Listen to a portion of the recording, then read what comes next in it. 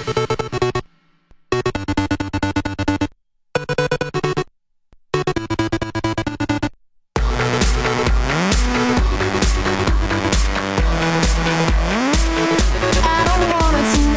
of the business is Mahlia Collection, my surname, and I'm located in Tucson, Arizona.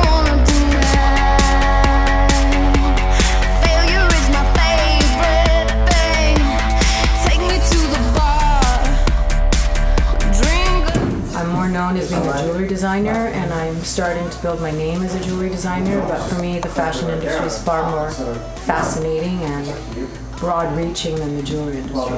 This shoot today is a lot more theatrical and is more of a set than, than just me wearing the jewelry.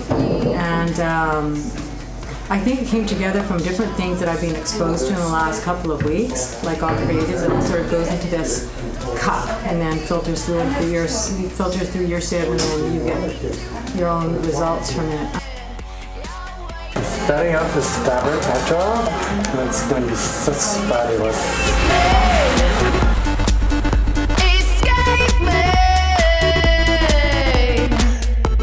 This is the controller for the puppet, and uh, Is going to be a puppet, a marionette, and this is the the, uh, the armature that holds all the strings that control the puppet.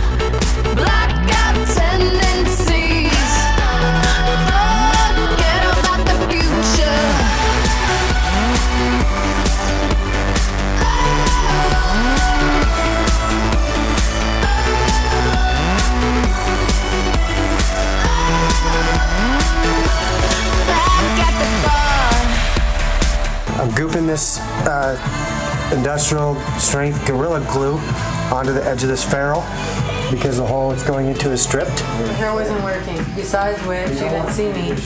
My hair kept getting sticking to my lip, which I have a lot of lipstick on, so we had like red on my nose and my cheeks everywhere. And after all the hours Sylvie just spent doing my makeup, she's like,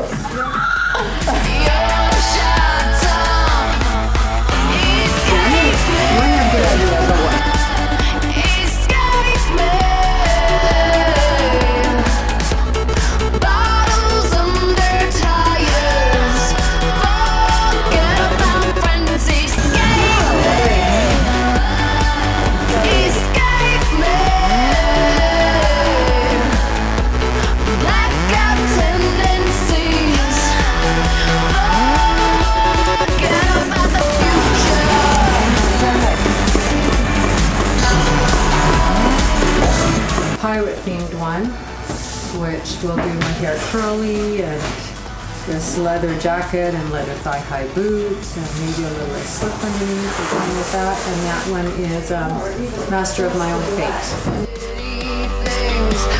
Fate.